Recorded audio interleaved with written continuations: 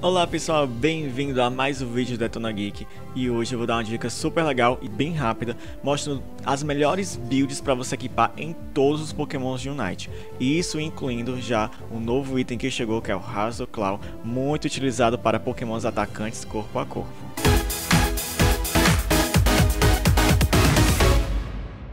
E é isso aí pessoal, eu sou o Felipe e agora vamos começar bem rápido a nossa lista né, das, dos itens que vocês vão equipar em cada um dos seus pokémons em Pokémon Unite.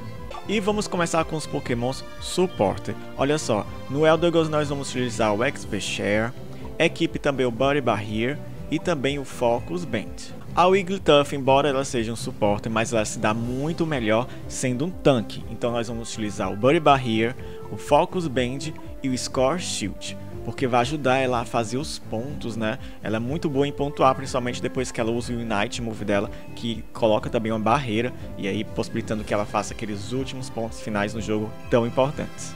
Blissey vamos equipar o Buddy Barrier, o Expert Share para ajudar ela a a pegar a experiência sem roubar os pokémons da lane, já que ela vai muito bem acompanhada com os pokémons que precisam upar o mais rápido possível para ficar bem forte. Então, é, para ela não atrapalhar esses pokémons, porque ela no nível 10 já é autossuficiente, então um XP Share e um Focus Band para Blissey.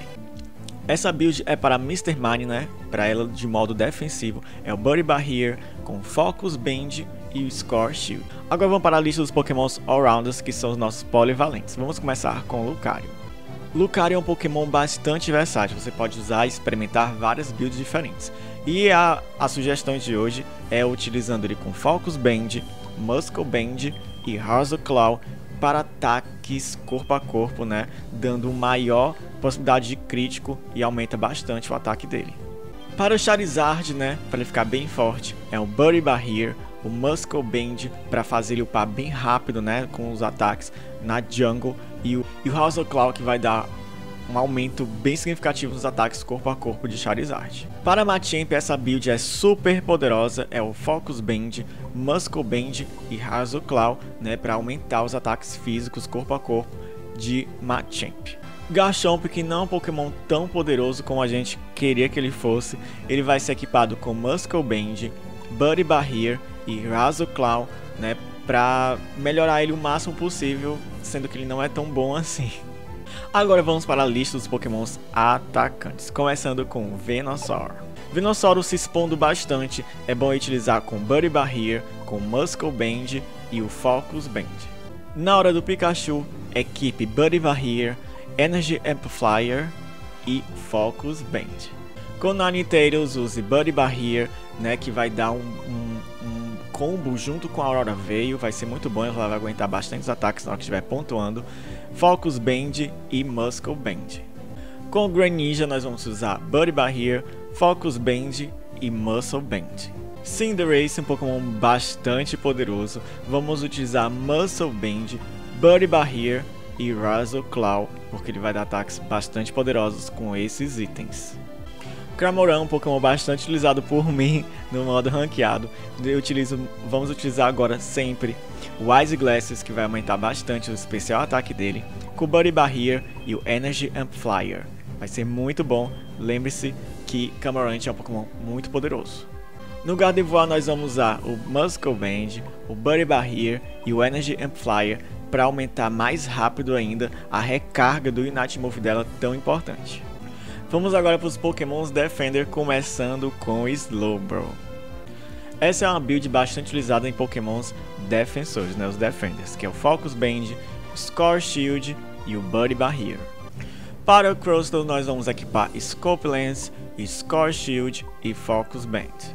O Scope Lens vai combar com ataque Stealth Rock que dá bastante chances de dar crítico. Ele é um Pokémon que adora pontuar, né? Um Pokémon bastante que sempre está pontuando, então o Score Shield vai ser um item excelente para ele. E junto com o Fox Band para aumentar as defesas. Para Blastoise nós vamos utilizar o Buddy Barrier, o Muscle Band que vai aumentar a velocidade do ataque dele, principalmente quando ele está dentro do, do casco, né? E também o Focus Band, que vai aumentar as defesas. No Snorlax nós vamos equipar o Buddy Barrier, né, para ajudar ele a pontuar. E aí também o Score Shield, que vai dar mais experiência toda vez que ele pontuar. E o Fox Band, que vai aumentar as defesas dele, combando com o HP alto que ele tem. Agora nós vamos para os nossos pokémons Speeder. Talonflame, ele é um pokémon que ataca de corpo a corpo, então nós já sabemos, vamos utilizar o Claw, equipar o Focus Band e o Muscle Band. Zero Aurora também nós vamos utilizar o Muscle Band, o Buddy Barrier e como ele também causa ataques bastante poderosos corpo a corpo, vamos aumentar esses ataques e a chance de dar crítico com Hazel Clown. E essa é a melhor build para o máximo de dano de Absol, utilizando Muscle Band, Scope Lens para aumentar a chance de crítico e Hazel Claw para aumentar ataques e dar crítico também. Por último, nosso Gengar, nós vamos botar o Ice Glasses, que vai aumentar bastante o ataque dele. O Energy Amplifier, né, que vai recarregar mais, mais rápido o Night Move. E o Muscle Band em Gengar.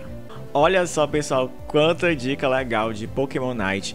E se você sabe, tem muitos outros vídeos aqui no canal, uma playlist. E se você não quer perder os próximos vídeos de Pokémon Night, de Pokémon Brilliant Diamond Shine Pearl e do universo Pokémon e também outros joguinhos da Nintendo, é só se inscrever no canal para não perder mais nenhum vídeo.